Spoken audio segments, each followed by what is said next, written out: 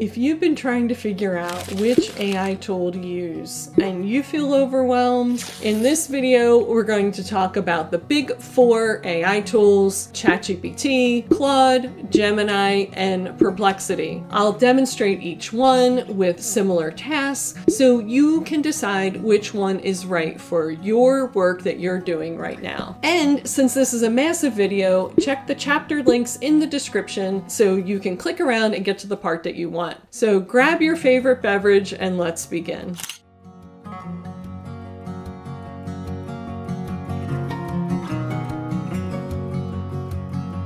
Let's start with what these AI tools have in common. So for ChatGPT, Claude, and Gemini, they are all what is called large language models, or LLMs. Some people call them chatbots. Think of them as a conversation partner or a thinking partner that responds to your questions, your writing, your ideas, and your research. No matter if you type into them or talk to them, they can summarize documents that you give them, help you organize your messy notes, brainstorm new research ideas, draft paragraphs of writing, and even transcribe documents and analyze photographs. And the fun part is many of these have a voice mode. This function of voice mode is perfect if you want to work hands-free. Now, each of these tools has a free plan and a paid plan, and you can think of the free plan as like a preview of what is possible with it. But with the paid plan, you're gonna wanna actually commit to one of these tools and pay the monthly fee so that you get the full benefit out of it. The bonus of these these monthly plans is that they are truly a monthly plan. At the end of the month, you can just cancel it. There's no long-term commitment to any one of them. Just batch all your work together. Let's say you want to analyze a bunch of photographs, analyze them intensely for a week or two or three, and then cancel the subscription. So I just described a bunch of things that it can do, but it does have some serious limits. First, it can't reliably read cursive or handwritten documents. I know it produces amazing results when it transcribes, but it is not reliable at doing this. Especially if the document is in a language other than English, you're going to have a difficult time. Don't rely on it for a transcription. You've got to be able to read these documents yourself. Second, AI can't search historical archives or genealogy websites on your behalf. I really wish it could, so there's no magical access secret database of historical records somewhere that it's going to pull up things for us. And finally, AI is imperfect. Sometimes it just makes things up, and we call that a hallucination. Just like any other source shouldn't be considered a source of truth, it should be considered a help to your research. Now let's talk about perplexity. I mentioned the three large language models. Perplexity is a different kind of artificial intelligence. It is basically a search-based tool. Perplexity actively searches the web and then it'll come back with a summary of what it finds in search. And if you would like to get into researching with Perplexity in detail, detail, I made this video researching the lives of people during the Revolutionary War, which you may find interesting. Now, let's go meet all these AIs and see what they can do. Now, the best way to test these AIs, these large language models, is to put them to the test. So we are going to do three tasks with our AIs and see how they fare. I am going to try it out on this ancestor of mine, well, sideline ancestor, but still, he's in my family tree. Francis Wilmer, we're going to write a short biography of him, just 150 words. We're then going to ask for a research plan based on that biography, that timeline that I'm giving it to write the biography. What's a research plan that it can give me? And the last thing is we're going to have it give us some real in-depth information. And I'll just show you what that is when we get to it. I'll leave it as a teaser because it's kind of odd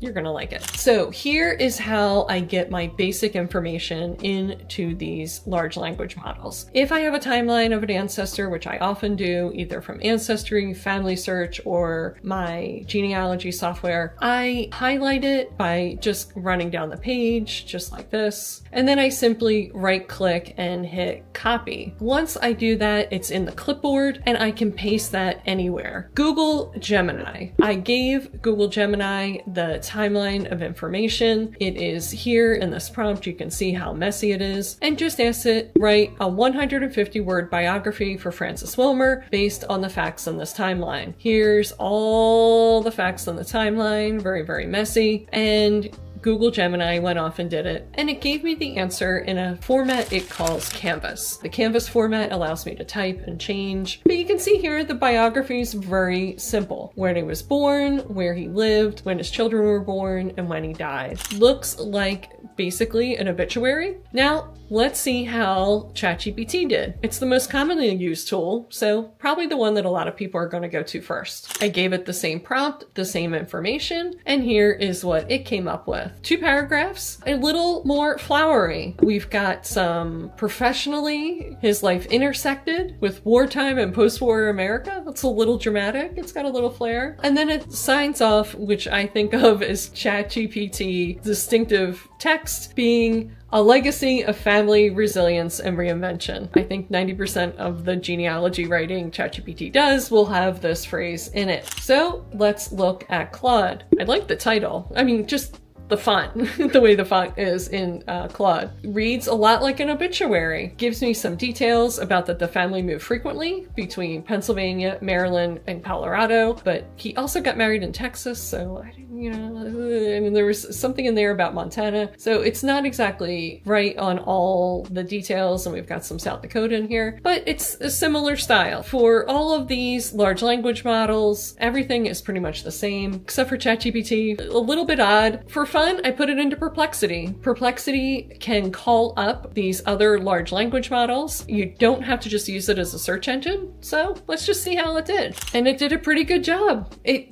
wrote just like every other large language model. When Francis was born, different places he moved and lived, when the children were born, and then when he passed away in 2001. Now let's go ahead and rate our AIs here and how they did with writing a short biography. I gave ChatGPT three stars for this, mostly because it was a little too flowery and dramatic for me, but for the other AIs, Gemini, Claude, and Perplexity, I gave them all four stars. So they weren't quite at the level of that I would like for a biography, but it was really close. And I feel it would get me 90% of the way there for writing a short biography, and I could easily edit the rest that I wanted. And the best part is is that their effort took about 30 seconds. So a big win for AI. Now let's move on with our second task, which is a little bit more difficult, which is creating that research plan based off of what I gave it in the timeline. I want to know more about Francis's life or writing family history, I want to get really into the details for Francis's life. We'll start again with Google Gemini. Our prompt is just going to be a very simple conversational one. I'm not getting into a detailed prompt here. Ideally, I would do that. Given the life events of Francis Wilmer, suggest a genealogical research plan to determine his various occupations and understand the places he lived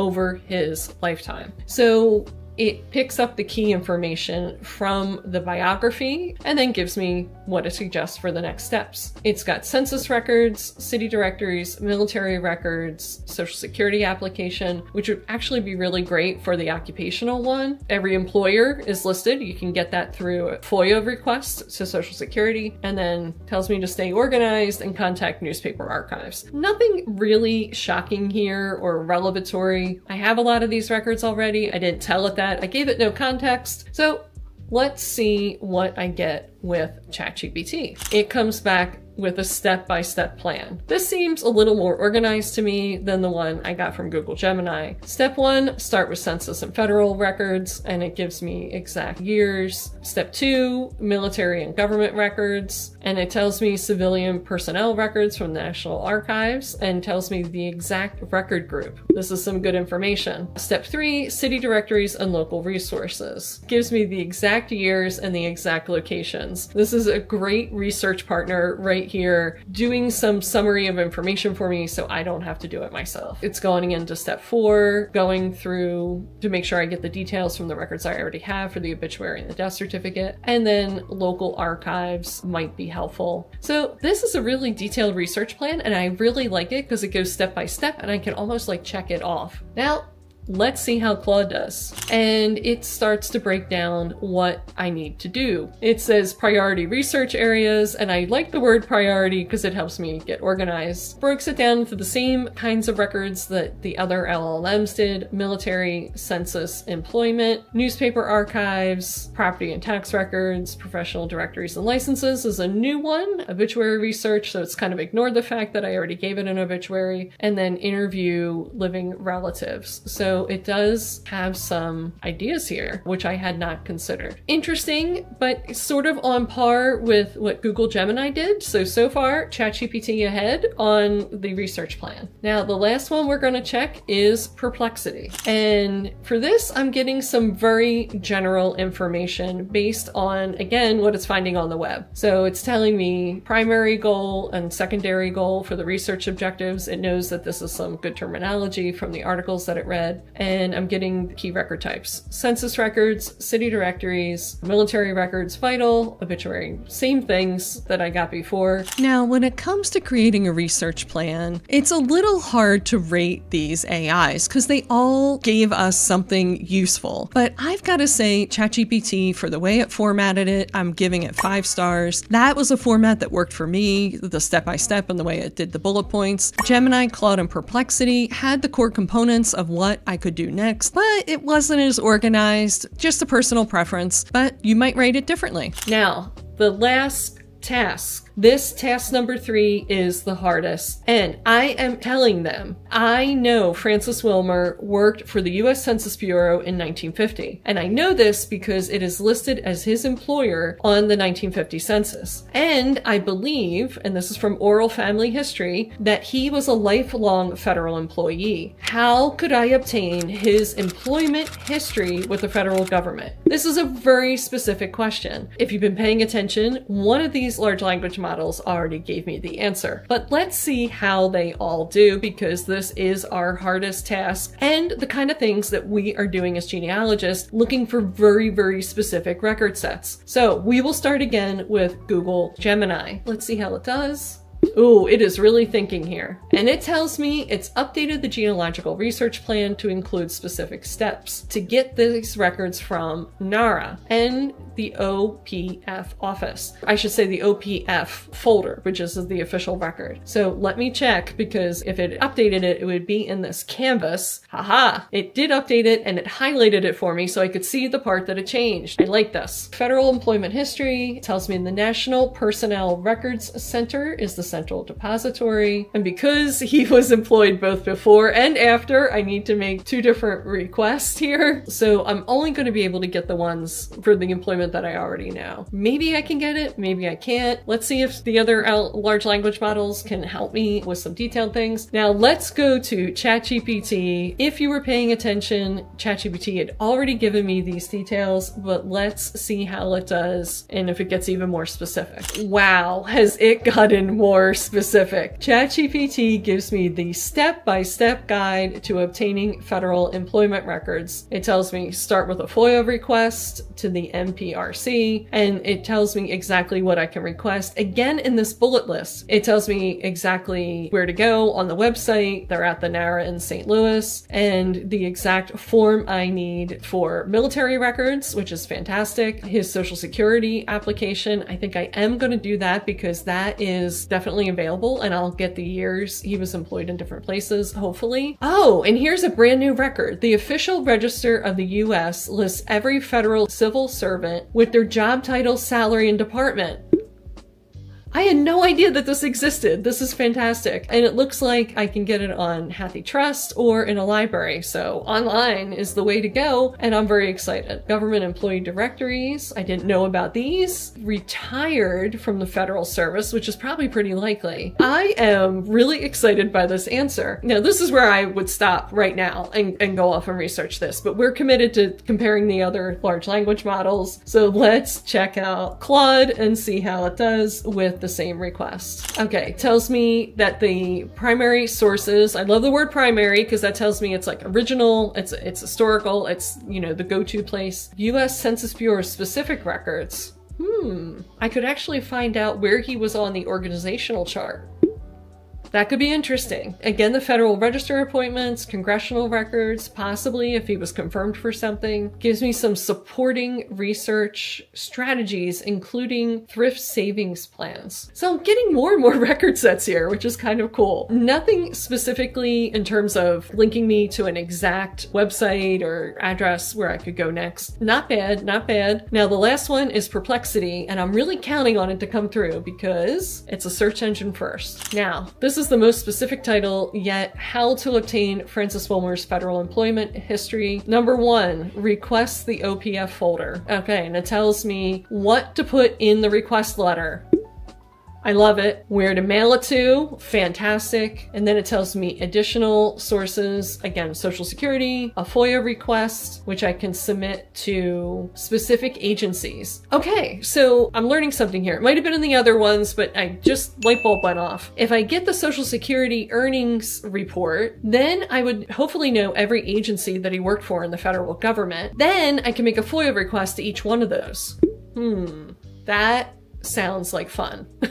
If you're a genealogist, you know that sounds like fun. All right, and then we get to our newspaper archives. Ooh, what I get here is I don't get information in the text that it came back with, but it came back with the citation links. Let me go to these citation links. Number two is the Office of Personnel Management. So it gives me more details there. Link eight is to a Reddit board, and number nine is again the Office of Personnel Management and gives me more details on personnel actions, which I didn't understand. I didn't know. So I can read what those are and find out how those records can help. Perplexity ends the results giving me some tips and then gives me again the list of things to include in the letter. Now, identifying a specific record in a specific archive was a tough challenge for our AIs, but I really feel like there was a clear winner here with ChatGPT. I'm giving it five stars for giving me the exact location address where I could obtain those employment records. Gemini and Claude didn't do quite as well. I'm giving them three stars. I mean, the information was definitely adequate, but not quite to the level of ChatGPT. Perplexity, again, four stars. It's doing well, not quite as well as ChatGPT, but definitely a better job than the other two.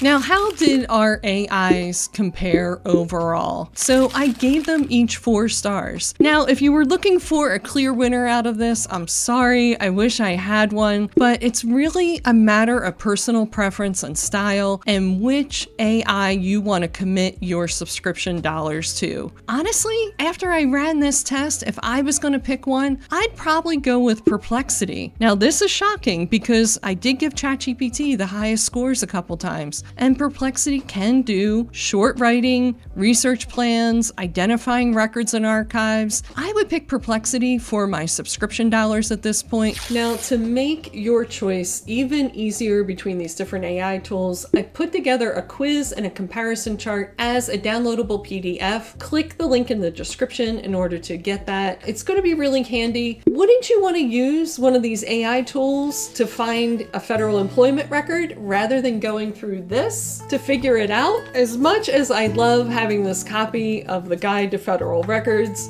I just gotta admit, I think AI is the way to go.